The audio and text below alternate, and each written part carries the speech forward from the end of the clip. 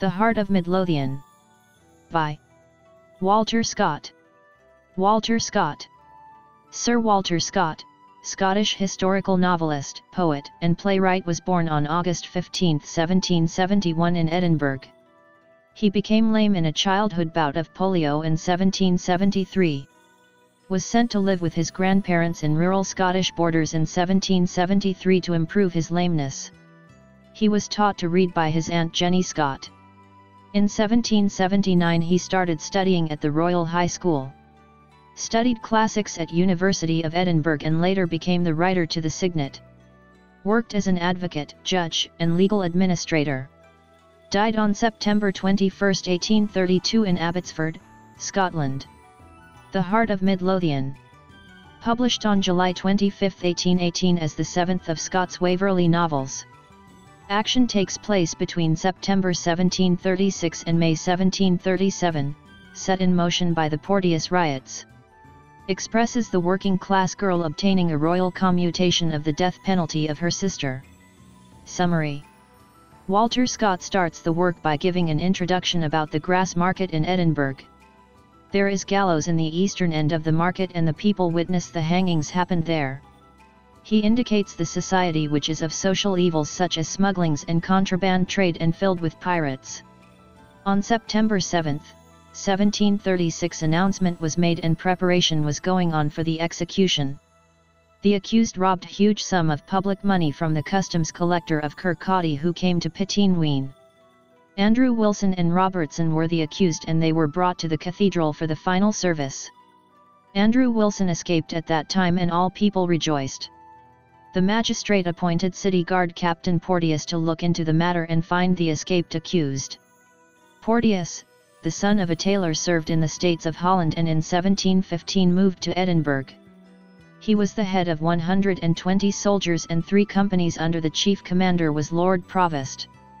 However Porteous caught Wilson and the execution was carried out when the people became very violent. Captain Porteous ordered to fire on the violent mob in which one man dead and six or seven people slain and many got hurt. The magistrate on seeing the activity of Porteous, ordered and signed the death warrant of Porteous on September 8, 1736.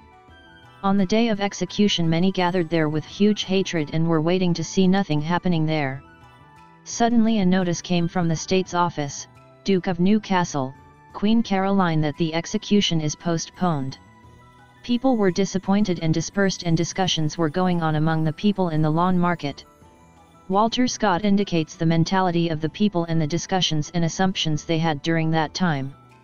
Mrs. Howden, Peter Plumdamas, Miss Grizel Damahoy, Mr. Saddletree, Mr. Butler were discussing the things happened.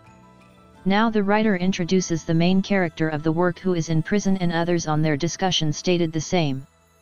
The central character Effie is accused of child murder and her stepsister Jeanie was told that if they are not moving to narrate the real situation of Effie, she will be hanged to death. Butler had a concern on her and tried to visit her in the prison. There was huge riots and the rioters moved to the Westport and Cowgate and moved to Tolbooth to assassin Porteous. Lord Provost ordered Colonel Moyle to control the riot but before that they broke open the gate of the Tolbooth prison. Butler was there who witnessed the riots and the people caught and took Porteous to be hanged and Butler was asked to perform the final rituals for him.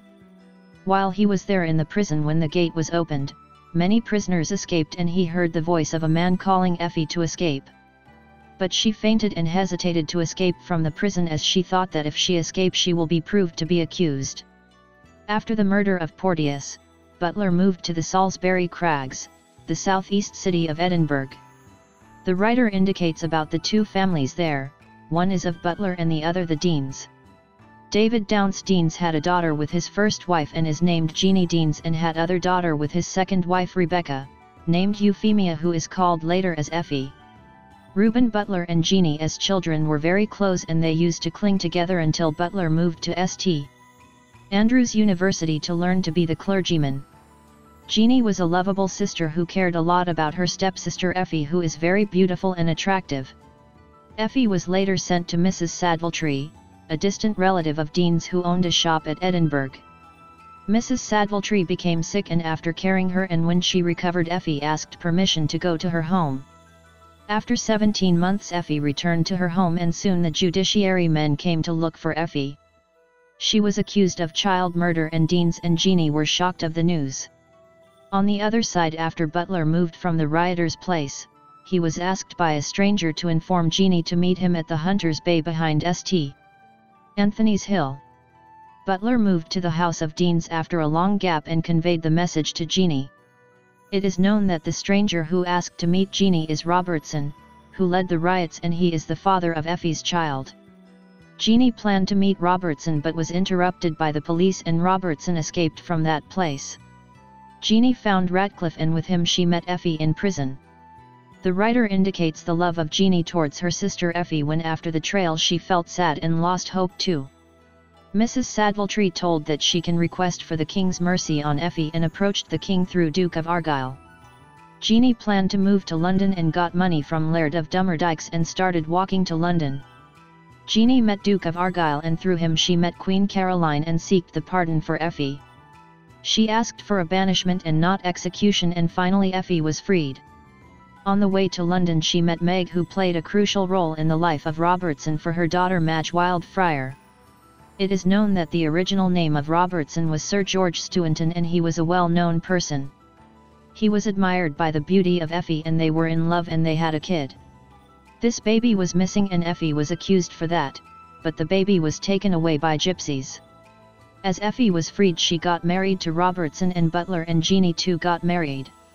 Towards the end of the novel it is seen the two couples after marriage led a happy life until the lost son, the Whistler who was raised as a criminal killed his own father Staunton or Robertson.